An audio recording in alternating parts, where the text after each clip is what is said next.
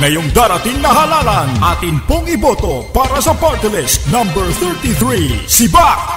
Ang party list na lumalaban sa korupsyon at naglilingkod ng totoo, number 33 sa balota, si Bak Party List!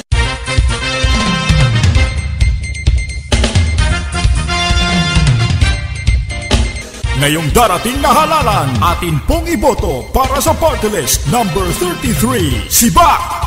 Ang party list na lumalaban sa korupsyon at naglilingkod ng totoo, number 33 sa balota, si Bak Party List!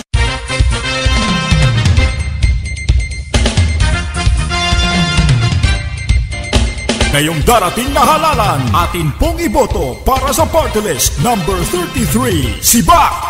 Ang party list na lumalaban sa korupsyon at naglilingkod ng totoo, number 33 sa balota, si Bak Party List!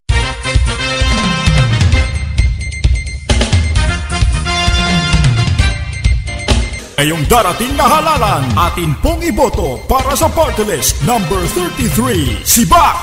Ang party list na lumalaban sa korupsyon at naglilingkod ng totoo, number 33 sa balota, si Bak Party List!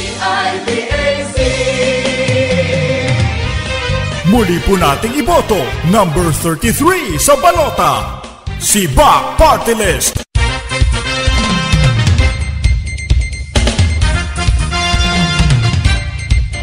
Ngayong darating na halalan, atin pong iboto para sa party list number 33, si Bak! Ang party list na lumalaban sa korupsyon at naglilingkod ng totoo, number 33 sa balota, si Bak Party List! Muli po nating iboto, number 33 sa balota, C-I-V-A-C, Siba, ang sandakan ng